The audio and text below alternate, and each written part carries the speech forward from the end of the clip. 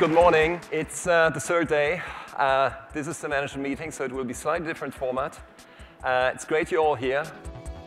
Creativity, content creativity, but also business and business model creativity are the basis for our success. We really want to have or build three legs. Media content as a significant leg we already have, and which we want to continue to build. Services with Arvato, B-printers, and potentially business information. And then a new leg, education.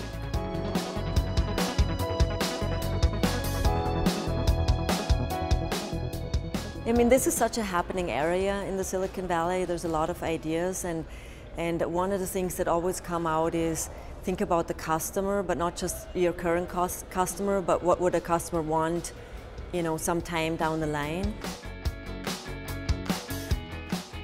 We're operating from a position of strength here. We've worked hard over the last few years to really get us to this position, and we now have a financing position that enables us to invest. 1.6 billion invested already this year, uh, several billion available for the next few years time to talk um, a little bit about people, and as you said, Judith, it's time to give a short report uh, on the uh, employee survey. We're lucky to actually have the Bertelsmann Employee Survey as the central instrument of our corporate culture of partnership, and it is among our most important strategic instruments for performance. As you already know from Thomas's letter last month, we had a record participation of nearly 87 percent. With this increasing participation, we've also seen a steady rise in positive feedback from our employees. Now, Penguin Random House wants to write the next chapter, the next successful chapter of publishing, the chapter of the 21st century, the chapter of publishing in the digital era. We have an enormously powerful cultural content treasure and publish many of the most uh, acclaimed authors around the world, under them the new uh, Nobel Prize winner Alice Munro. Penguin and Random House have been cultural institutions. We are basically saying that, that print will always be important and digital will, will become more and more important. And the, the, the relation between print, print and digital is an and, it's both and not an either or. And we heard it over and over again, you know, during the sessions that it's not like sort of embracing the new does not mean that we have to run away from the old. It's sort of, you know, you know, finding the new balance between old formats and new formats. Over the last months, besides completing the re-IPO process, we have been delivering on all of our strategic goals despite strong or tough macroeconomic conditions in most of the markets we operate in. And we have advanced in all three areas. And as a result of these acquisitions, we are basically the number one European media group among all US worldwide companies in terms of streaming worldwide. And I think that this achievement is great. Our ambition is to grow the business substantially over the next years um, by implementing the strategy we just uh, laid out to you.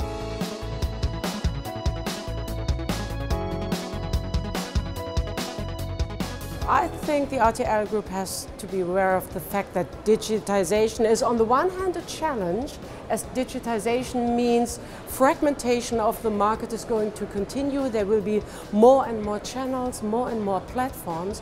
On the other hand, digitization offers us the possibility to reach our users, our viewers on totally um, new platforms.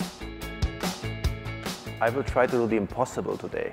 I will try to explain you Arvato. We want to become the most innovative, agile, flexible and international company. We decided to go to work for six countries.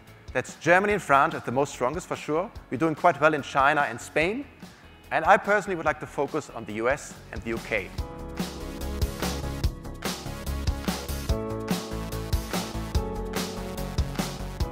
The Valley is a beautiful place to learn all these important companies we're working with, like Google, like Amazon, Facebook, uh, Apple, they are here and we talk to these customers. And what you learn is always the same. First, it's about talent and people.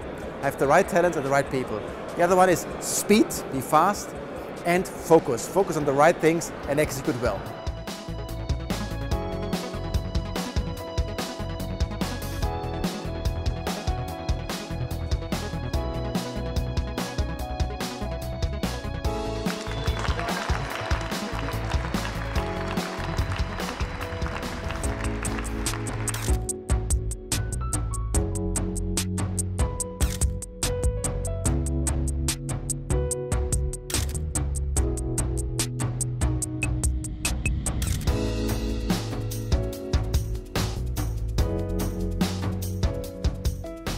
In our strategic definition, the growth regions for us is the BIC, B-I-C, Brazil, India, China. We have exciting plans for Bertelsmann on corporate level, what relates to education businesses and digital businesses. About a year ago, we opened the corporate center. This was June 2012. And we were very lucky in the first year to have the opportunity to invest in two of the, I would say, blue chip local funds in Brazil. Cherry on the top this year, not only would we grow at 12%, which is the sectorial growth rate, we will grow at double that rate, which is more than 25%, actually 28 odd percent, which, which talks about what Thomas said in the beginning. Our businesses are strong, they are very well respected and are very relevant in these markets. Because we have this clear strategic framework, we also know exactly what we want to do in the next 15 to 18 uh, months. The priorities are very clear. We're going to deliver in the various parts of the group what we promised. And once we, we are well advanced on this, we're going to make the next significant steps. There is no other media company with as much and as diverse content as we have. Bertelsmann is a creative powerhouse. I think there's absolutely no doubt.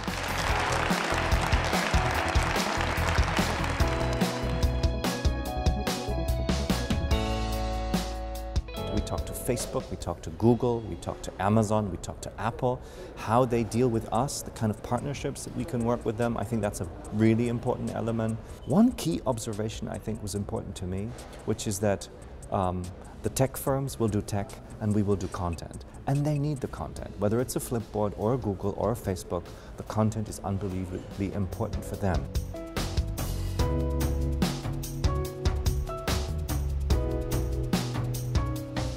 Frankly, I think people can be very confident, self-confident about what we have achieved. If we would continue at this pace, frankly, this would be amazing and it would be, would be really good.